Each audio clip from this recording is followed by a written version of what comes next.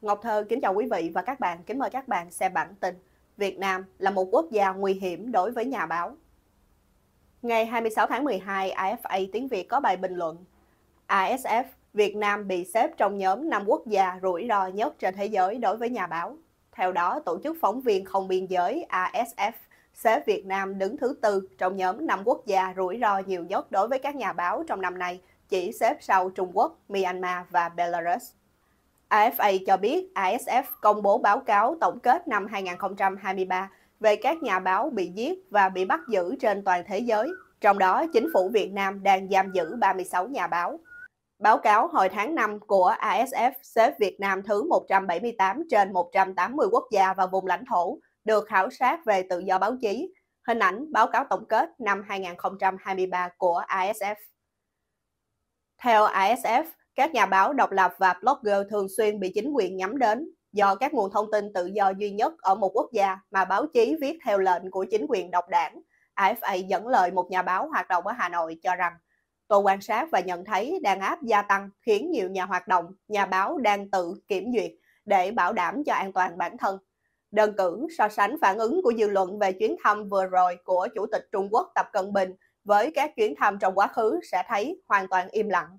AFA cũng dẫn lời cựu tù nhân lương tâm Huỳnh Thị Tố Nga nói các nhà báo, phóng viên truyền thông, các nhà hoạt động chính trị không phải là nhà báo nhưng góp phần truyền thông bằng nhiều cách khác nhau để có thể lên tiếng phản biện đều bị gây khó khăn như bị đóng các trang mạng xã hội, bị an ninh mời làm việc và bị bắt buộc phải ngừng viết bài và nặng nề nhất là bị bắt vào tù.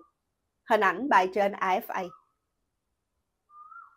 Báo cáo của ASF dẫn lại vụ blogger Đường Văn Thái bị bắt cóc ở Thái Lan và cho rằng sự đàn áp của đảng cầm quyền cũng vượt ra ngoài biên giới của nó. Theo AFA, sau vụ việc xảy ra đối với ông Đường Văn Thái, nhiều Facebooker và YouTuber đang tị nạn ở xứ Chùa Vàng đã phải thận trọng hơn để tránh bị an ninh Việt Nam có hành động tương tự. AFA dẫn lời ông Trần Duy Chiến, một YouTuber đang ở Thái Lan, chuyên đưa tin chính trị Việt Nam, nhận định sau vụ việc chính quyền Việt Nam qua bắt cóc Đường Văn Thái, thì những Facebooker về blogger tại Thái Lan viết bài giảm hơn vì chúng tôi lo ngại về an ninh cho bản thân. Báo cáo của ISF cũng đề cập đến các nhà báo bị cầm tù tại Việt Nam, nơi gần như có hệ thống điều trị bị xuống cấp, bị từ chối tiếp cận dịch vụ chăm sóc y tế.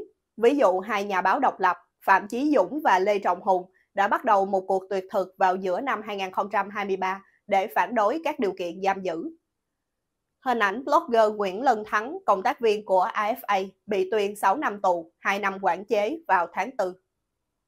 AFA tiếp tục dẫn lời nhà báo kiêm nhà văn Võ Thị Hảo nói, khi mà báo chí không có tự do đưa tin, tự do ngôn luận, thì tất cả những vụ án, những vụ tham nhũng hay những vụ tiêu cực từ phía nhà nước hoặc những công ty có quyền lực lớn về tiền cũng như mối quan hệ với lợi ích nhóm hoặc những cơ quan tổ chức đặc biệt về ngành công an đều bị ém nhẹm.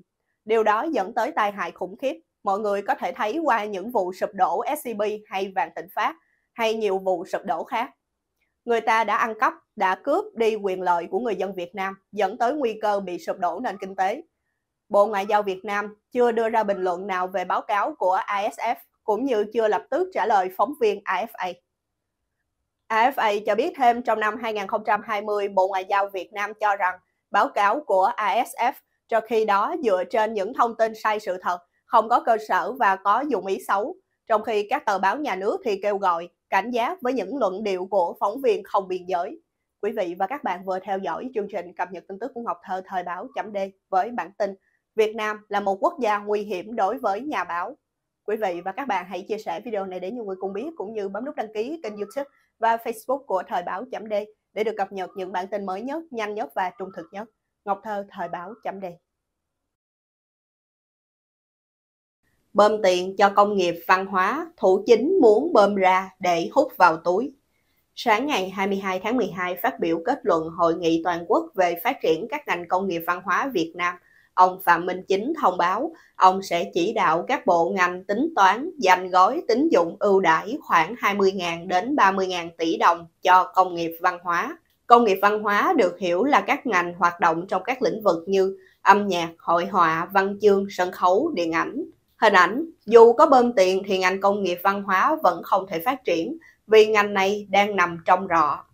Ông Phạm Minh Chính nói rằng điều kiện không gian phát triển công nghiệp văn hóa đối với sáng tạo khoa học công nghệ và văn hóa nghệ thuật lành mạnh, đậm đà bản sắc dân tộc, phù hợp xu thế thời đại, tiến bộ của nhân loại là không có giới hạn. Công nghiệp văn hóa là ngành có triển vọng lớn, có thể phát triển nhanh, mang lại hiệu quả cao, là động lực mới cho sự phát triển văn hóa phù hợp với xu thế của thời đại. Tuy nhiên, thực tế hoàn toàn ngược lại với phát biểu của ông chính, điển hình là âm nhạc Việt Nam gần như không thể vươn tầm ra thế giới, thậm chí giới trẻ hiện nay mê sao Hàn hơn sao Việt. Điều này chứng tỏ ngành giải trí Việt Nam không bằng Hàn Quốc và nhiều nước khác.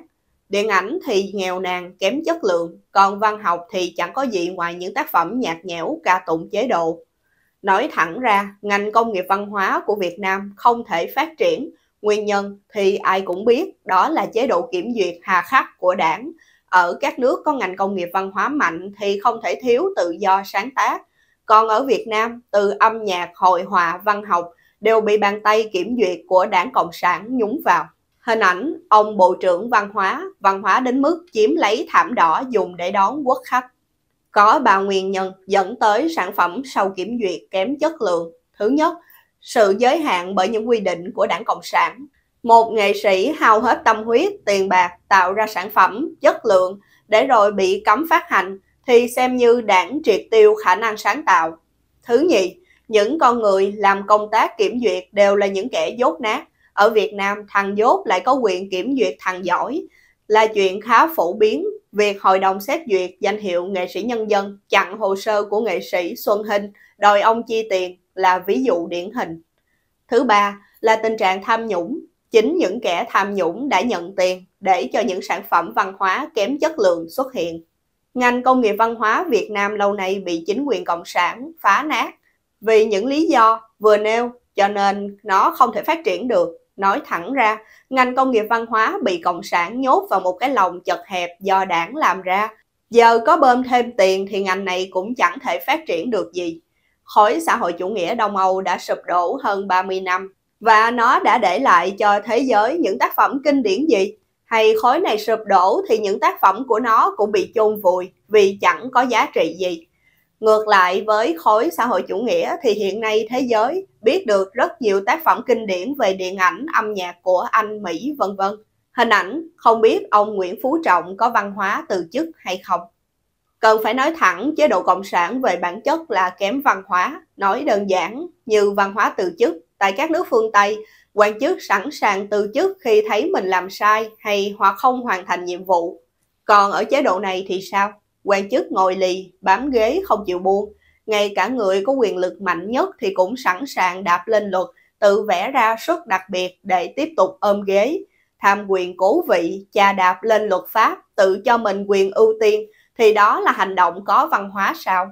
Người có văn hóa là người biết tôn trọng, trong đó tôn trọng người khác và tôn trọng luật chơi chung.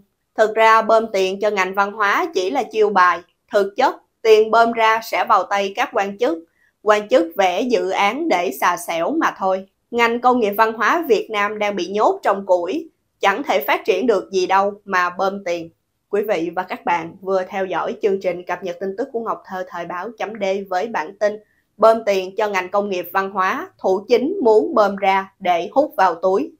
Quý vị và các bạn hãy chia sẻ video này để nhiều người cùng biết cũng như bấm nút đăng ký kênh youtube và facebook của Thời báo D để được cập nhật những bản tin mới nhất, nhanh nhất và trung thực nhất. Ngọc Thơ Thời báo D